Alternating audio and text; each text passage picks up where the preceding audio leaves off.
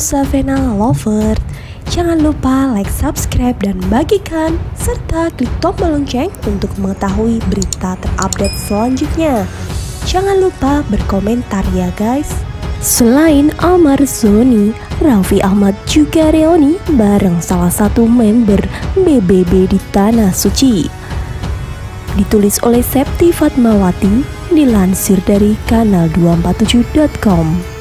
Raffi Ahmad saat ini sedang melakukan ibadah umroh di Tanah Suci dengan Nagita Slavina. Selama itu, mereka bertemu sejumlah rekan artis dari Amarzoni hingga member bukan bintang biasa ini. Raffi Ahmad dan Nagita Slavina rupanya melanjutkan perjalanan liburan mereka dengan mampir ke Tanah Suci. Kali ini, pasangan yang menikah 17 Oktober 2014 ini memutuskan untuk melakukan ibadah umroh dulu di Tanah Suci. Beberapa unggahan Raffi saat menyambangi rumah Allah ini pun menarik perhatian penggemar mereka. Terlihat saat melihat sosok Nagita Slavina yang tertutup dengan hijab. Pujian setinggi langit untuk paras ayu ibu darah Fatar ini pun banjir berdatangan. Baru-baru ini, Raffi rupanya membagikan pertemuannya dengan pasangan seleb lain yakni Amar Zoni dan Iris Bella. Sama-sama umroh, kedua pasangan ini pun menyempatkan diri untuk berfoto bersama.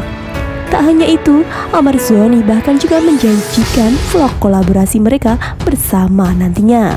Selain Amar Zoni dan Iris Bella, Raffi dan Nagita Slavina rupanya juga bertemu dengan artis Indonesia lainnya yaitu Dimas Beck yang ternyata juga tengah menjalani ibadah umroh. Dalam potret tersebut, terlihat Raffi Ahmad dan Dimas Beck sama-sama mengenakan sorban, sedang Nagita Slavina dengan baju hitam serta cadar dan kacamata hitam juga. Bersama dengan potret foto itu, rupanya Dimas Beck menyampaikan ucapan selamat ulang tahun untuk kedua sahabatnya ini. Selamat hari lahir sahabat-sahabatku, pungkas Dimas Beck yang mendapat balasan banyak emosi hati dari Raffi dan Nagita. Dimas Beck sendiri sudah beberapa hari lalu berada di Tanah Suci. Bahkan, ia juga beberapa kali membagikan potretnya dalam balutan kain ikhram, kain berwarna putih yang dikenakan para jamaah haji dan umroh ini. Reuni Raffi Ahmad dan salah satu member lain dari grup Bukan Bintang Biasa ini pun langsung mencuri perhatian. Salah satunya datang dari Meli Guslau, juga warganet lainnya yang ikut girang melihat pertemuan dua sahabat ini lagi. Masya Allah bahagianya kalian bisa ketemu di sana at Raffi Nagita 1717 at Dimas Beck Gigi.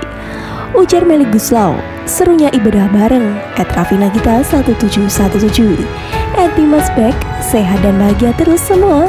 Ya happy birthday dan selamat beribadah sambung Ayusita. Love love tandas at Firda. Masya Allah, akhirnya ketemu juga sama A dan Mbak Kiki. Seloro at Santi. Ketemu senangnya timpalnya akun at Ovi. Menurutmu bagaimana pendapatnya Savina Lovers? Tulis di kolom komentar ya gengs.